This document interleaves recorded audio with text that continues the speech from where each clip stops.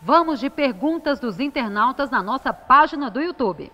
O seguidor Marcos Paulo quer saber como tirar a travagem de um animal. Ele pergunta se deve procurar por um especialista.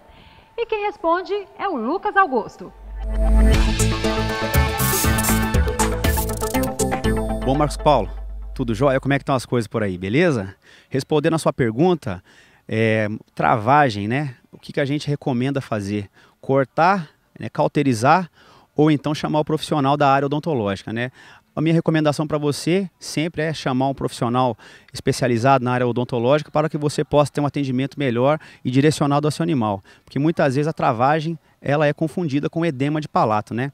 A travagem, para ser uma inflamação do palato, teria que ter os cinco sinais da inflamação, que seria dor, calor, rubor, tumor e perda de função, onde normalmente é confundido com pequeno edema que ocorre no céu da boca do animal. Então, pela retração dos dentes, que vão, vão ser os dentes descidos, que são os dentes de leite, e a erupção dos dentes permanentes, isso gera um processo inflamatório normal do organismo que pode gerar um, um edema do palato confundido com travagem.